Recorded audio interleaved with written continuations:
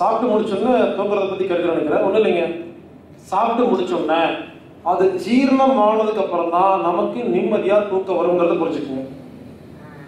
யாரெல்லாம் நைட்டு போட்டு போட்டு படுக்கிறீங்களோ நிறைய மசாலா அது இது சாப்பிட்டீங்க.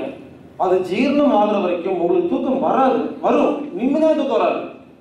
அதுக்கு தான் இந்த உட்கார்ந்து தூங்குற டெக்னிக் சொன்ன பார்த்தீங்களா உட்கார்ந்து தூங்குனீங்கன்னா அரை மணி நேரத்தில் ஜீரணம் ஆயிடும் எப்பேற்பட்ட சாப்பாடு ஜீரணம் ஆயிருங்க நல்லா தெரியும். ஏப்ப வரும்? வயிறு சாப்பிட்ட உடனே நீங்க படுத்து தூங்கலாம் தப்பு இல்லை.